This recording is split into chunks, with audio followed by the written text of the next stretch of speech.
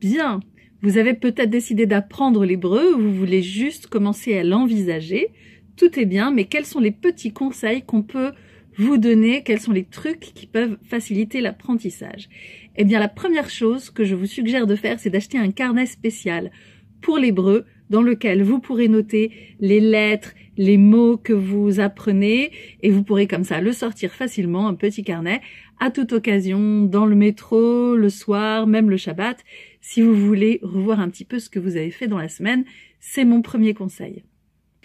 Mon deuxième conseil, c'est dans ce carnet d'écrire un journal chaque fois que vous étudiez, potentiellement tous les jours, c'est un rythme qui est assez bien, même si c'est des temps très courts, tous les jours c'est pas mal, c'est de tenir un journal de ce que vous avez étudié, de ce que vous avez fait, quelle prière ou quel texte ou quelle lettre ou quel mot ou quel type de vocabulaire ou type de parole ou de phrase vous avez étudié, vous le notez. Comme ça, vous pouvez toujours voir combien vous avez investi, où vous en êtes et voir le fruit de vos efforts. Et puis, ça servira peut-être pour vos archives. C'est toujours agréable de savoir de quelle façon on a travaillé. Quand on a accompli son but, on regarde comment c'était avant et c'est encourageant. C'est un deuxième conseil.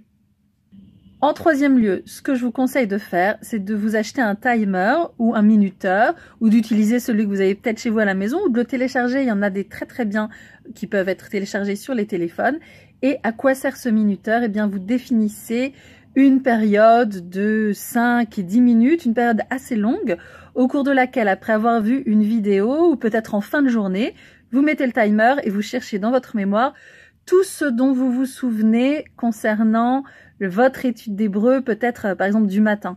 Et ça, ça donne un signal important parce que le fait d'aller chercher les informations dans le cerveau, c'est le plus important en termes de mémorisation. C'est beaucoup plus efficace que de rabâcher, rabâcher, rabâcher.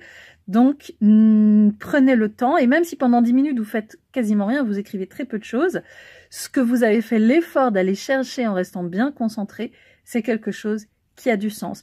Par ailleurs, quand vous notez, vous n'êtes pas obligé de noter que le résultat de ce que vous avez appris. Vous pouvez aussi noter des moyens mnémotechniques que vous avez trouvés ou quelle impression ça vous a fait, ou faire des petits dessins, colorier les lettres, ce que vous voulez pendant 10 minutes, vous vous donnez ce temps-là pour, dans votre petit carnet, vous remémorer de la façon qui vous convient ce que vous avez pu apprendre.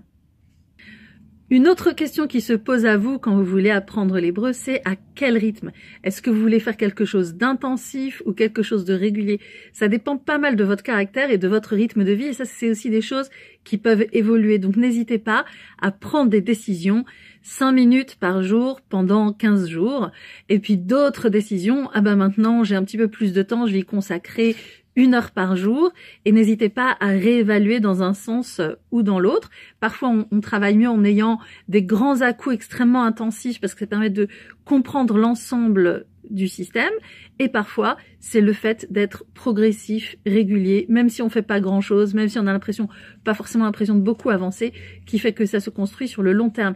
Les deux sont vrais, à chacun de voir dans son rythme ce qui convient le mieux et n'hésitez pas à faire le bilan de ça et en changer de telle sorte que bah, votre petit journal, il peut aussi vous aider à faire ça.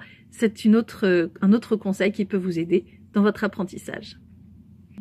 Un autre conseil que je vous donnerais, c'est de venir à la synagogue. Évidemment, je suis un petit peu intéressée à la chose parce que si vous êtes là, c'est vrai que l'office est d'autant plus sympathique et joyeux, mais ça permet de faire un rendez-vous régulier.